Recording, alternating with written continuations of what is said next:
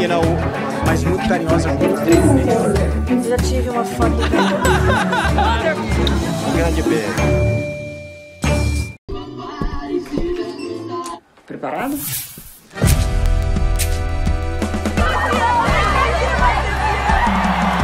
Eu te falei pra tirar o chapéu. Ela falou que ela tá solta mais pra lá do que pra cá. Já se perdeu na curtição do Guarujá. Ô Gui, é, conta pra gente como que foi é, a ideia, de onde surgiu a ideia pra fazer o filme? Bom, como você sabe, eu gosto muito de faroeste, cowboy e até de sertanejo, né? Tanto que em vários, vários textos que eu já fiz pro Cecine 10 e até alguns vídeos, né, do Action Johnson de cowboy e tudo mais, sempre gostei muito desse universo. E quando eu escrevi, quando eu tava escrevendo um outro filme, aí veio, eu tava escutando música aleatória, aí começou a tocar fogão de lenha. Aí, sabe, quando a inspiração bate, aí você fala, cara, eu tenho que escrever uma coisa que eu gosto, que eu gosto. Desse universo sertanejo, de cowboy, de chapéu e tudo mais. E aí foi natural a partir desse Só momento. queria que vocês falassem um pouco como foi a composição do personagem de vocês.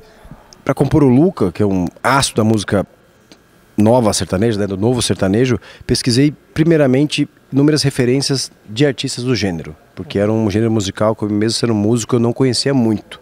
Então eu vi mais de 50 duplas e comecei um trabalho desde o início com o acompanhamento do Gui Pereira. Além de ter coaches que me ajudaram, Rosana Pena, Erika Altmaier, Blota Filho, que me ajudaram muito né, a humanizar esse personagem, a, a trazer a minha raiz, minha essência sertaneja de homem que morou no campo. Né? Fui criado em Campo Grande, Mato Grosso do Sul, que é pertinho lá de Presidente Prudente até da Taila. E é uma cidade que respira esse ar do campo, as tradições do, do mundo sertanejo, né? Criado tomando banho de rio, pescando. Então o Luca tinha isso na sua essência. Então foi muito bacana resgatar isso também. não foi tão trabalhoso no lugar de composição, é, de criação do personagem, porque ela é muito proximamente, é muito próxima às minhas raízes. Então foi só essa busca pra Tayla, que cresceu com o pé no chão, que subia em árvore, que estava sertanejo o dia inteiro. Então, acho que foi isso. Eu sei que é difícil falar do lado dele, mas como é o primeiro longa, o que, que você destacaria assim do, na direção do, do Gui? Ai, não é difícil falar, sabia? É super fácil, porque é uma coisa que a gente. Eu sempre falei e hoje é a primeira vez que eu vejo os meus colegas de trabalho também, de, os meus colegas de elenco também falarem. O Gui, é, ele gosta de dirigir ator. É muito difícil você encontrar um diretor de ator. E ele gosta. E para nós é fantástico, porque a gente se prepara, a gente estuda em casa, a gente decora o texto, a gente faz todo um, um, um preparo para o personagem. Mas você ter o diretor que te deu o direcionamento dele é outra coisa. E ele tem uma visão muito sensível de tudo que ele faz. Como a Tara falou, ele tem um tratamento, ele é muito perfeccionista. Então a gente fez, fez várias vezes, várias cenas que a gente achava que estava boa. Ele, não, peraí, vamos por aqui, esse caminho vai dar um outro resultado. E realmente, fora, as, como eu comentei na coletiva, ele tem várias surpresas que ajudam demais na, durante as cenas. Né? E no meu caso, ele me deu essa abertura que foi fundamental né, para na, na, na minha composição de personagem, no nosso trabalho, que foi o livre acesso a ele sem terceiros. Eu falava todo dia com ele, é por aqui. Quando eu criei a gênese do personagem também, ele me mostrava o caminho. Foi muito é, gratificante para o resultado Sim. final. E a segurança dele no set, de saber o que ele quer, o que ele, que história que ele quer contar e da forma que ele quer contar. Eu tô acompanhando as redes sociais da- do filme e eu vi que teve uma polêmica. Mas eu acho le- legal perguntar exatamente porque você se posicionou. Eu acho legal você falar. Porque teve uma pessoa que fala assim: ah, o filme sobre música sertaneja, mas no título tem cowboy. Eu queria que você falasse sobre isso, para quem ainda pensa desse jeito. Sim. Não, que é engraçado, né? O título do filme é uma música do Chitãozinho Chororó do disco Inseparáveis de 2001. Então já começa por aí. E eu acho que hoje em dia é, não é necessariamente uma americanização do sertanejo. Tipo, é é um efeito da globalização do mundo de uma maneira geral. Tanto que você vê as baladas sertanejas em São Paulo, como que elas chamam? Villa Country, Woods, Cowboys. Você vai pra Jaguariúna, o nome dos bars é Rodeo Bar, não sei o que das contas, sei que lá Salon, é tudo faz parte do linguajar do pessoal do interior. O próprio o rodeio de Jaguariúna, rodeio de Barretas, eles chamam Jaguariúna Rodeio Festival. Não é Festival de Rodeio de Jaguariúna. Então é um efeito da globalização. Você pega até duplas sertanejas mais clássicas, como Rio Negro e Solimões, eles têm músicas que chamam O Cowboy Vai Te Pegar.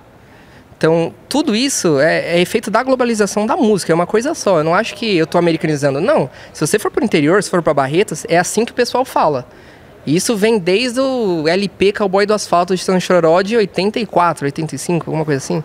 Então, essa é a minha posição. Eu acho que não tem nada a ver. Tipo, essa é a linguagem do pessoal do interior. Eles falam assim mesmo. Quando eu digo que deixei. Sinto falta do meu irmão todos os dias. É porque eu te amo. A gente tocava junto, agora tô tentando terminar a música sozinho. E nessa loucura de dizer que não te quero. O filme faz uma homenagem às, às canções dos Titãs de Chororá. Qual é a favorita, se tem uma favorita deles? Ah, gente. Pra mim é evidências. Assim, eu tenho várias. Eu cresci realmente ouvindo os Titãs de Chororó, cresci ouvindo Rio Negro dos Solimões, mas acho que evidências para mim é uma coisa. Eu tenho várias histórias e é a minha música número um do karaokê. Olha, é complicado, viu? Eu fiz Nuvem de Lágrimas, desde lá já conhecia bem o repertório deles.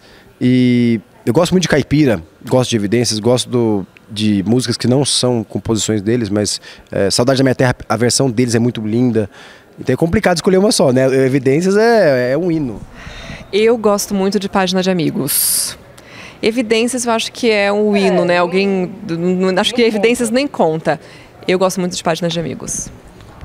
Eu gosto muito de Página de Amigos também, sempre gostei. Na verdade, o, C, o álbum, né, o Chitão de Choró de 1995, aquele disco inteiro eu escuto no repeat sem mudar nenhuma faixa. Isso é raro acontecer com CD. Mas eu gosto muito da música Confidências. Qual que é a confidência? Suas confidências nunca mais, eu quero ouvir sobre esse...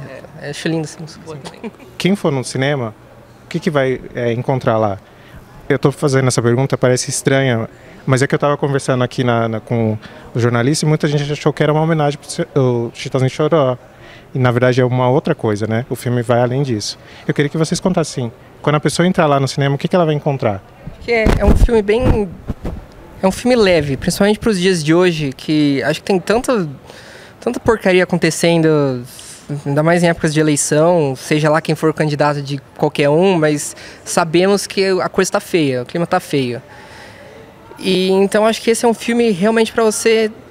Sabe quando você quer dar aquele break de toda tanta porcaria acontecendo no mundo? Você só quer ir no cinema, se você quer ter um contato humano, você quer ver uma relação humana e uma experiência única.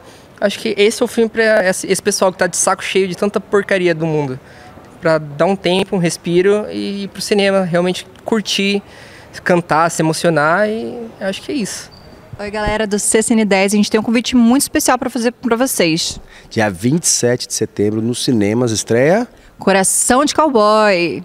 A gente espera vocês lá. Eu tenho certeza que vocês vão gostar. Eu também. Não percam nos cinemas. E Tchau, Popstar. Pra mim. Se inscreva no canal, curta o vídeo, comente e compartilhe nas suas redes sociais. Cecine 10, o cinema como você vê.